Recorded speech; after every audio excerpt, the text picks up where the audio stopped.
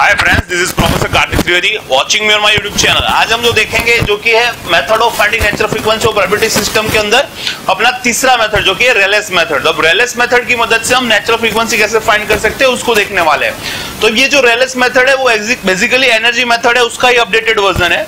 तो अब ये ये बोलता है according to Rayleigh's method the maximum potential energy at extreme position is equal to the maximum kinetic energy at a mean position तो ये इस तरीके से लिखा है, क्योंकि पोटेंशियल एनर्जी तभी मैक्सिमम होगी कि आपकी जो मीन पोजीशन है, उससे आपका जो डिस्प्लेसमेंट है, वो कितना होना चाहिए मैक्सिमम तो आपकी जो mean position potential energy with respect to height होता है तो आपका जो मीन पोजीशन है, उससे जितना ज़्यादा आपका डिस्प्लेसमेंट मैक्सिमम होगा, तब आपका पोटेंशियल एनर्जी मैक्सिमम होगा। इसलिए यहाँ पे मैंने लिखा हुआ है एक्सट्रीम पोजीशन और काइनेटिक एनर्जी कब मैक्सिमम होगा? जब उसकी वेलोसिटी मैक्सिमम होगी।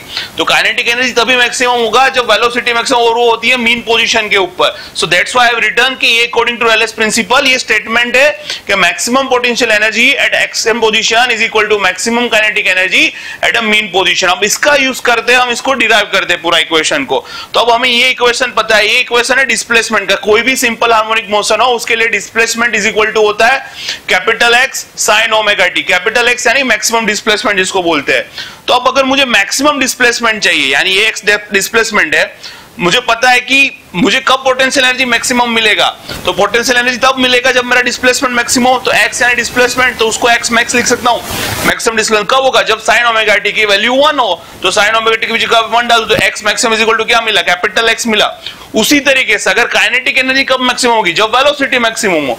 तो इस चीज़ का मैं डिफरेंशिएट करता हूँ विद रिस्पेक्ट टू टी तो x का विथ रिस्पेक्ट टू टी करोगे तो डिस्टेंस अपॉन टाइम यानी ये वेलोसिटी हो जाएगा x dot is equal to x जेट इज़ इट रहेगा? sin ओमेगा टी का होगा, cos ओमेगा टी और ओमेगा टी का डिफरेंशिएट करोगे तो ओमेगा एज इट इज़ रहेगा टी का with respect to T one हो जाएगा.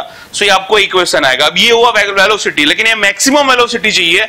x maximum x dot maximum चाहिए तो cos ओमेगा टी की वैल्यू कितनी होनी चाहिए? वन तो इसकी वैल्यू वन तो ये क्या हो जाएगा एक्स ओमेगा तो हमें मिल गया कि अगर हमें मैक्सिमम मैक्सिमम हमें काइनेटिक एनर्जी चाहिए तो एक्स डॉट मैक्सिमम की वैल्यू होगी एक्स ओमेगा और हमें मैक्सिमम पोटेंशियल एनर्जी चाहिए तो मैक्सिमम डिस्प्लेसमेंट की वैल्यू होगी कैपिटल एक्स तो हमें पता है potential energy we know that one half K X square क्योंकि यहाँ पे मैक्सिमम लिखा हुआ तो एक्स की जगह मुझे एक्स मैक्स लिखना पड़ेगा। उसी तरीके से I know that that kinetic energy is one half M X dot square लेकिन मुझे पता है यहाँ पे काइनेटिक एनर्जी मैक्सिमम है तो वेलोसिटी भी मैक्सिमम होनी चाहिए, नहीं एक्स डॉट मैक्सिमम होना चाहिए, ठीक है?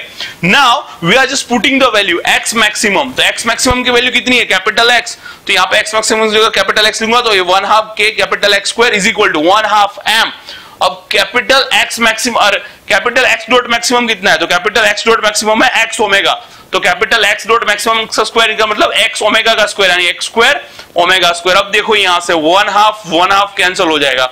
X square X square cancel हो जाएगा. तो आप ओमेगा स्क्वायर को सब्जेक्ट बनाए, वो आएगा is equal to K by M but मुझे नेचुरल फ्रीक्वेंसी चाहिए, इसलिए मैंने ओमेगा एन लिखा हुआ है so omega is equal to what is equal to under root of K by M हो जाएगा. Done So, we know that the natural frequency is what? Omega upon 2 pi. So 1 upon 2 pi, omega की जो value ढूंढी आप यहाँ पर रख दीजिए under root of K by M so that side this is how you can find the natural frequency with the help of Rayleigh's method please इसको like करें शेयर करें सब्सक्राइब करें a nice day. Day bye